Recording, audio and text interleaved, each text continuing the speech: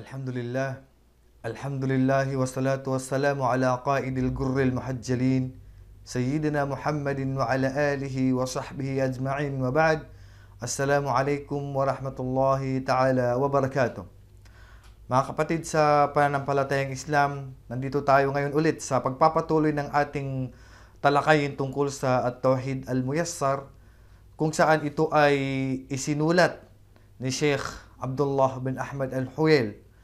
At nandito pa rin tayo sa pagpapatuloy ng ating talakayin dito sa Tawhid na ito. Natalakay na natin noong una kung ano ba ang ibig sabihin ng Tawhid, ano ang mga uri ng Tawhid, ano ang kahalagahan ng Tawhid. So actually itong talakay na ito mga kapatid napakalawak dahil ito ay dapat nating ingatan sa ating pa- pang-araw-araw na gawain dahil maaari sa segundo lang o minuto o oras lang na nagawa mo na nasira ang tauhid mo, maaari mawala lahat ng iyong ginawang mabubuti. So bakit yung mga sinauna sa atin, tulad halimbawa sina Abu Bakar, bakit uh, si Umar, si Uthman, si, Ali at iba pang mga sahaba at mga iskolar natin, bakit napataas ang kanilang antas sa paraiso? Ngunit iisa lang naman ang ating gawain. Sila ay nagsasala katulad ng pagsasala natin, nagbibigay ng kawang gawa katulad ng pagbibigay ng kawang gawa natin. Sila ay nag-aayuno katulad ng pag-aayuno natin, pero bakit mas mataas ang kanilang antas? Alam niyo ba kung bakit? Dahil sa nakalagay sa kanilang puso. Kung ano ang nilalaman ng kanilang puso. Yun po ang katotohanan. Dahil yung puso nila napakadalisay, napakalinis mula sa anumang uri ng shirk. Maging shirkun akbar man o shirkun asgar. Mali, malinis na malinis o dalisay na dalisay mula sa anumang mga gawain na nagiging dahilan na nawawala ang o naiiris ang uh, ginawa ng tao na isang mabuti. Dahil alam nyo ba ang tauhid, ito ay nagpapataas ng antas ng tao sa kabilang buhay sa ating paraiso. So ngayon, nandito tayo ngayon sa ating talakayin kung ano ba ang ibig sabihin ng La ilaha illallah. Alam nyo ba itong La ilaha illallah, lagi nating binabangkit, lagi nating sinasabi, pero ano bang ibig sabihin nito? Itong La ilaha illallah, ito yung dahilan kung bakit ipinadala ang mga sugo. Ito ang dahilan kung bakit ipinadala ang sugo. Kasi kung wala lang itong la ilaha illallah, di sana hindi na pinadala ng Allah ang mga sugo at mga propeta. At kung wala lang itong la ilaha illallah, di sana hindi na tayo nilikha ng Allah ang mga engkanto at mga jin. O ang mga engkanto at mga katulad natin mga tao. Sabi nga ng Allah sa Quran, وَمَا خَلَقْتُ الْجِنَّ وَالْإِنسَ إِلَّا لِيَعْبُدُونَ Hindi ko nilikha ang mga engkanto at mga tao maliban na lamang upang ako'y kanilang sambahin. Yun na po yung la ilaha illallah. Sabi pa ng Allah sa Quran, Shahidallahu annahu la ilaha illallah, Shahidallahu annahu la ilaha illahu, wal malaikat wa ulul ilm. So, so, ang Allah ay saksi na wala ng Diyos na karapat dapat sambahin maliban sa Kanya. Walang Diyos na da- karapat dapat sambahin maliban sa Allah. Wal malaika at saksi rin ang lahat ng anghel na walang Diyos na karapat dapat sambahin maliban sa Allah wa ulul ilm at silang mga maalam. Yung mga scholar natin, sumaksi rin sila na walang karapat-dapat na sambahin maliban sa Allah. Sino yung mga scholar na yun? At mga ulama natin at may mga kaalaman, sila mga propeta, sila mga ulama natin, lahat sila ay sumaksi na walang karapat-dapat na sambahin maliban sa Allah. Sabi pa ng Allah sa Quran, Fa'lam annahu la ilaha illallah. Sabi, alamin mo o Muhammad. Alamin mo o Muhammad katotohanan na wala ng Diyos na dapat sambahin maliban sa Allah. Ibig sabihin mga kapatid, dito sa aya na to, maintindihan natin dito, paalam, kailangan talaga natin mag-aral. Pag-aralan natin kung sino ang dapat nating sambahin, paano natin siya sasambahin. Hindi yung basta-basta ka na lang sasamba sa Panginoon mo na kulang ng kaalaman. Ito ay ginagawa ng mga Shia. Ang mga Shia, sinasamba nila ng Allah na walang kaalaman. Na akala nila, yung pagsamba nila na yan, yan ang dapat. Kaya ngayong ibang mga kapatid natin nakagawa ng bid'a dahil sa kulang sa kaalaman. Dahil tandaan ninyo, hindi makukumplito ang ating pagsamba kung hindi natin maisasagawa ang dalawang kondisyon. Ano yung kondisyon na yon? Ang una, al-ikhlas. Kailangan yung lahat ng pagsamba mo ay bukal sa puso. Dalisay ang puso mo na para lang sa Allah. Dahil kapag nawala ang ikhlas, ibig sabihin shirk na. So alagaan natin ang ating puso na mabaling ang ating intensyon sa ating mga gawain na mapunta ang ating intensyon para sa ibang tao, para sa kanyang nilalang. Dapat yung intensyon natin sa ating pagsamba para lang sa Allah.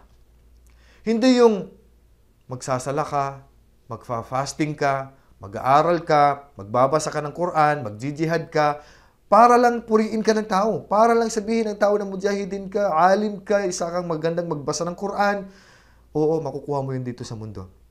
Ano sabi ng propeta sallallahu alaihi wasallam? Innamal a'malu binniyat wa innama likulli imri'in ma nawa. Lahat ng gawain natin ay nakadepende sa ating intensyon. At kukwentahin ng Allah kung ano ang naging intensyon mo. Kung intensyon mo ay para lang purihin ka ng tao, bibigay siya ng Allah yan. Pero pagdating sa kabilang buhay, wala ka ng reward. Dahil nagawa mo na, binigay na sa iyo ng Allah, napuri ka ng mga tao, pero yung gantimpala mo tungkol sa ginawa mo na yun na mabuti, unang uri ng pagsamba, yung pagsala, pag-ayuno, pag-hajj, o pagbasa ng Quran, pinuri ka na ng tao, so wala ka na mapapala sa kabilang buhay. So wag natin sirain yung ating gawain. Kaya ingatan natin na ating puso na dapat yung lahat ng uri ng pagsamba natin, yung pagkatay mo para lang sa Allah yung pagsala mo para lang sa Allah. Yung buhay mo para lang sa Allah. Dahil walang nagbigay ng buhay mo, isa lang naman. Ang Allah lamang ang siyang nagbugay, nagbigay, nagbigay ng ating buhay. Dito malaman natin na dapat tayong mag-aral. Kaya nga faalam, kailangan talaga natin mag-aral. Bago natin maisagawa ang lahat ng bagay, kaya ang propeta sallallahu alaihi wasallam, nung siya ay nasa Makkah, 13 years, siya ay nagtuturo lang sa mga sahaba. 13 years, itinuro sa kanila ang kanilang akida. Hindi agad-agad pagka pasok nila sa Islam, hindi na nag-aral, automatic samba agad. Siyempre, habang ikaw ay sumasamba, pag-aralan mo kasi magkakaroon ka ng bid'a. Kaya ngayong dalawang kondisyon na yung kanina nabanggit ko, una, sapat na ba na tayo, ang ating pagsamba ay bukal sa ating puso? Sapat na ba na ako ay sumasamba lamang sa Allah? Hindi sapat din mga kapatid. Kailangan mayroon yung pangalawa. Mutaba'atun Nabi sallallahu alaihi wasallam. Kailangan yung gawain natin ay alinsunod sa ginawa ng propeta sallallahu alaihi wasallam. Paano niya sinamba ang Allah, paano siya kumatay, paano siya nagsala, paano siya naghajj. Kasi kapag ginawa mo naghajj ka para sa Allah, nagjihad ka para sa Allah, nagbasa ka ng Quran para sa Allah, nagsala ka para sa Allah. Pero hindi naman alinsunod sa ginawa ng propeta, useless pa rin. Bakit? Sabi ng propeta sallallahu alaihi wasallam, Man ahdatha fi amrina hada ma laysa minhu, fahuwa raddun. Ang sino mang gumawa ng gawain na uri ng pagsamba na hindi namin nagawa, sabi ng propeta, ay hindi ito tatanggapin. Kaya, paano natin malalaman paano magsala? Paano natin malalaman paano nag-fasting ang propeta? Sa hadith. Okay, hindi ako marunong magbasa ng hadith, hindi ako marunong ng Arabic. Meron tayong mga scholar, meron tayong mga maalam, meron tayong mga nag-aral, meron tayong mga libro. Kalat na ngayon ang libro, meron ng translated sa Tagalog, may translated na sa English, mayroon tayong mga pagtuturo. So, sino pa kaya ang hindi matututo ngayon? Nandiyan ang internet, nandiyan ang Google, nandiyan ang YouTube, nandiyan ang, ang WhatsApp, nandiyan lahat. Paano ka makapanaliksik ng kaalaman? Sinasadya mo na lang para hindi ka matuto. So, yung La ilaha illallah, ang ibig sabihin nito, pag sinabi natin, ang ibig sabihin nito, La ma'buda bihaqqin illallah. Ang ibig sabihin nito, walang, wala ng Diyos na karapat dapat sambahin maliban sa Allah. Walang Diyos na karapat dapat sambahin maliban sa Allah. So, ibig sabihin mga kapatid, ito yung ibig sabihin niya. Dapat nandun yung karapat dapat sambahin. Kasi pag sinabi natin na wala ng Diyos na dapat sambahin, mali yun. Kasi pag sinabi mong wala ng Diyos na dapat sambahin, maliban sa Allah, sabi nila, maaaring sabi niya, anna kulla ma'budin bihaqqin o batilin hu Allah. Maaaring hindi karapat dapat, maaaring hindi karapat, maaari siyang karapat dapat at hindi karapat dapat na sabayin. Kasi tinanggal mo yung karapat dapat na salita. Pag sinabi mong wala ng Diyos na dapat sabayin maliban sa Allah, maaaring siya ay karapat dapat, maaaring hindi karapat dapat. Kaya dapat isama mo yung salitang wala ng Diyos na karapat dapat sambahin maliban sa Allah. Mali rin na sabihin mo na la khaliqa illallah. Pag sinabi mong wala ng tagapaglikha maliban sa Allah, kulang pa rin yun. Dahil maaari sabihin nila, na si oo, lumikha, pero hindi naman nila kayang sambahin dahil ang mga tao noon, naniwala sila na ang Allah siyang tagapaglikha, pero sinamba ba nila? Dapat nandun yung salitang sambahin. Kaya wag mong sabihin na walang tagapaglikha maliban sa Allah dahil hindi yung hindi yun ang kahulugan nun kasi pag sinabi mo yan tinanggap ng mga hindi Muslim yan yung ang Allah ay tagapaglikha. Mali rin na sabihin mo na la hakimiyata illallah na walang tagapagbigay ng batas maliban sa Allah dahil ang mga tao noon tinanggap nila ng batas ng Allah ang siyang tunay na batas. So dapat ang ibig sabihin ng la ilaha illallah ay walang Diyos na karapat dapat sambahin maliban sa Allah. Mayroon tayong dalawang haligi ng la ilaha illallah. Yung tinatawag natin na an-nafi. Pag ang sinabing nafi, aalisin mo. Wawalain mo. Pag, wawal, pag, pagwawalang bisa. Nafi, la ilah. Ibig sabihin, walang Diyos na dapat sambahin.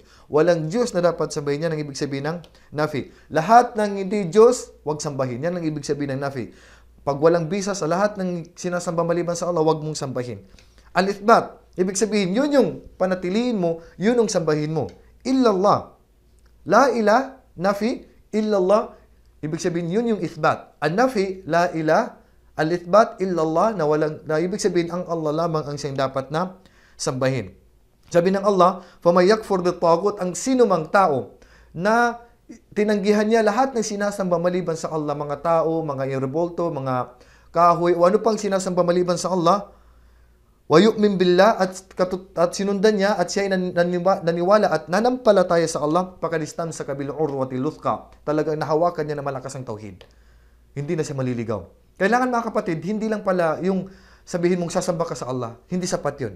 Kailangan sasamba ka sa Allah at tanggihan mo lahat ng uri ng shirk.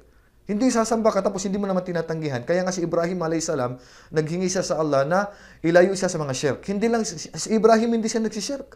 Sumasamba siya sa Allah. Pero hiniling pa rin niya sa Allah na ilayo siya mula sa shirk dahil ang tao maaari makashirk pa rin na hindi niya maramdaman. Ang sabi nga ni Ibrahim, sabi nga ni Ibrahim, wa qala Ibrahim li abihi wa qaumi innani bara'un mimma ta'budun at nung oras na yon, nung time na yon, na sinabi ni Ibrahim sa kan- kanyang ama at sa kanyang mga tao, innani bara katut innani bara katotohanan na ako ay inosente, hindi ako kasama sa inyong pagsamba maliban sa Allah. So, maliban sabi sabi pa niya doon illa alladhi fatarani, maliban sa kung sino ang lumikha sa akin, fa innahu sayahdin. Dahil katotohanan siya ang gagabay sa akin at magliligtas sa akin at siya ang tuturo sa tamang landas. So tandaan niyo mga kapatid, hindi makakatulong sa tao ang, ang la ilaha illallah maliban sa dalawang bagay. Ba, maaaring sinasabi natin ng la ilaha, la ilaha illallah, sapat na ba ito para makatulong sa atin? Hindi. Kailangan may dalawang kondisyon. Ida arap pa ma'naha. Kailangan alam ang ibig sabihin, hindi yung sinasabi mo, hindi mo alam ang meaning. Kailangan alam mo ang kahulugan ng la ilaha illallah. Pangalawa, wa amila bimuqtadaha. Kailangan magawa mo kung anong nilalaman ng la ilaha illallah. Ano yung nilalaman ng la ilaha illallah? Sambahin mo ang Diyos na nag-iisa lang ang Allah at layuan mo ang lahat ng mga sinasamba maliban sa Allah. So kailangan layuan mo 'yon kasi pag hindi mo pag sinamba mo lang ang Allah tapos hindi mo naman nilalayuan ng shirk, so walang faida. Kailangan mag makumpleto mo yung dalawa para matanggap ang la ilaha illallah mo sa kabilang buhay at ito ang magiging dahilan kung bakit ikaw ay mapapasok sa paraiso at may babawal ka sa impyerno, kailangan maintindihan mo ang la ilaha illallah, ano ang ibig sabihin nito. Pangalawa, kailangan magawa mo kung ano ang kahulugan ng la ilaha illallah. So ulitin ko, ang ibig sabihin ang pag ang ah, pagsasagawa ng la ilaha illallah kailangan sambahin mo ang Allah nang nag-iisa lang at layuan mo ang lahat ng sinasamba maliban sa Allah. So inshallah mga kapatid, tunghayan po natin ang kasunod ng ating talakayin. So hanggang dito na lang po. Assalamu alaikum wa rahmatullahi ta'ala wa barakatuh.